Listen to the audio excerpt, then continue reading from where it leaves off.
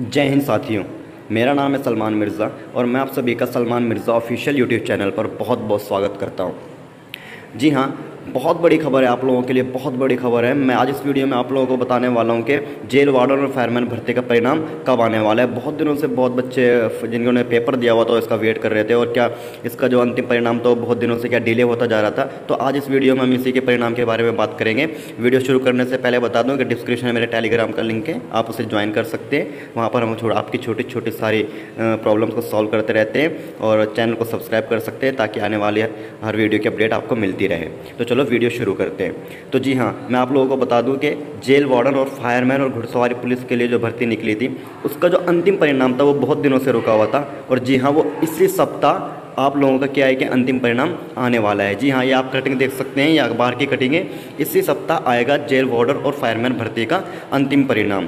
तो ये बिल्कुल पक्का हो चुका है कि इस हफ़्ते क्या है आपका फाइनल मेरिट आ जाएगी, आपका अंतिम परिणाम आने वाला है और अंतिम परिणाम होने के बाद ही आपका, दो या तीन हफ़्ते बाद ही आपका मेडिकल कराने की संभावित बात मानी गई है।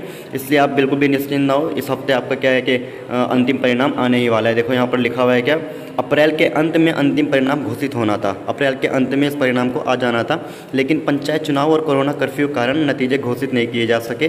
अब इस भर्ती को पूरी कराने की प्रक्रिया अंतिम दौर में है।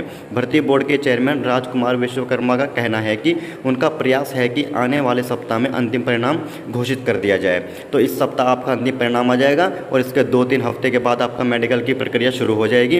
इसलिए आप अपना टेंशन छोड़ें, अपना बढ़िया से अपना अंतिम परिणाम के बाद अपने अपनी आँखों का, अपने पैरों का, अपनी हर चीज़ का ख्याल रखना शुरू कर दें। थोड़ा बाहर आना जाना बंद कर दें। आप लोगों का मेडिकल बहुत ही पास आ चुका है। तो वीडियो को समाप्त करते हैं। जय हिंद, जय भारत। और आप अपने, और वीडियो को आप सब्सक्राइब कर सकते हैं चैनल को ताकि आने वाली कोई अपडेट आपसे मिस ना हो। मैं इस टॉपिक पर जो भी मुझे बात पता चलेगी, जो भी अपडेट मुझे मिलती रहेगी, मैं आप लोगों को आराम से देता रहूँगा।